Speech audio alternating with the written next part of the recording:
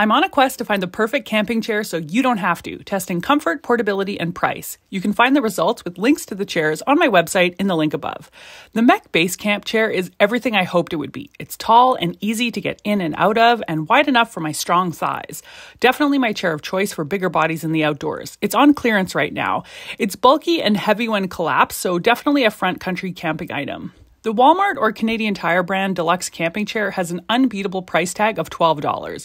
I'm always annoyed at how straight the back is, making me feel like I'm at church, and my thighs always get pinched a little on the sides, but it's light and folds up easily. The Helinox Chair Zero High Back. Now, I was surprised by how much I like this chair. It reclines really nicely, but it is a narrower seat that I fill right up. It's very low to the ground and sinks into soft earth. It collapses into one pound, eight ounces. I found myself carrying it around with me way more than I expected. At $229, though, it is an investment.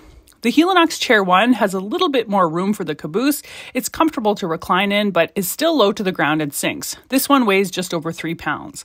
Now, last but not least, MEC calls this the Senate seat. It's the first camping chair I ever had, and it's the most versatile. It's portable, it provides back support, and it folds down into a kneeling or standing pad. This one goes for $44. Happy seating!